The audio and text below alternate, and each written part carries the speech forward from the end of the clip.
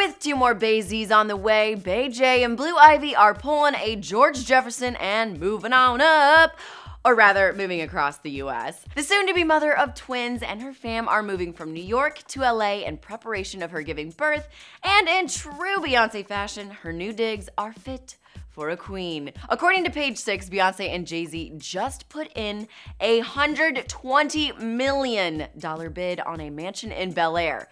Just wait until you hear what all this house has to offer.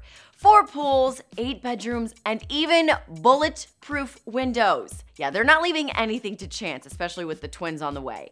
Oh, and if you thought that's all this mansion has to offer the Carters, think again. It also has 11 bathrooms, a media room, space for a recording studio, a 15 car garage, separate staff quarters, and a spa complete with a hot tub, sauna, and steam room. Yeah, I wasn't kidding when I said this house is fit for a queen. I mean, separate staff quarters, that's like 18th century England stuff right there. The newly remodeled home located in Bel Air's private Eastgate area is perfect for the family since they are leaving New York for LA in search of more privacy.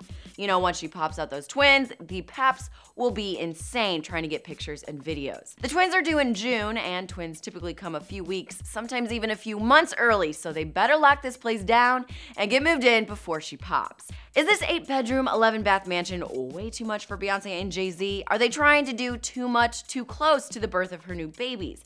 I mean, I personally don't know what I'd do with four pools and a 15 car garage. It's just too much space, but what do you guys think? Sound off in the comments down below. For more entertainment news, click the boxes and, of course, subscribe to Hollyscoop.